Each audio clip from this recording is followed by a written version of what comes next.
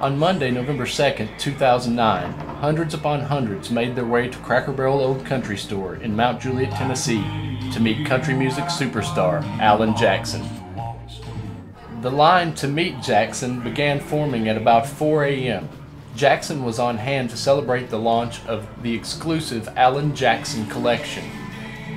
The collection went on sale nationwide on November 2nd and includes 41 high quality items inspired by Jackson's hometown family philosophy.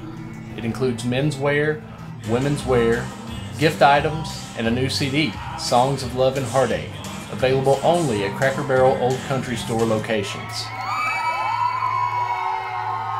Upon his arrival, Jackson was greeted by cheers and waves, the type of warm down home welcome for which Wilson County is known.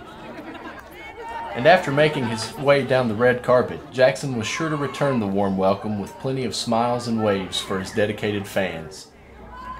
I grew up in the South, so Cracker Barrel has been a part of my family since I was a young man, Alan Jackson said. I was really flattered when they came to me with the idea of working together to create a collection for their country store, and I've been very impressed with the variety and quality of the items that we have put together. I think my fans and their families will appreciate everything in the collection. Songs of Love and Heartache includes two previously unreleased songs, That's What I'd Be Like Without You and Nothing Sure Looked Good on You, as well as 10 other songs including such hits as Here in the Real World, Living on Love, and Remember When.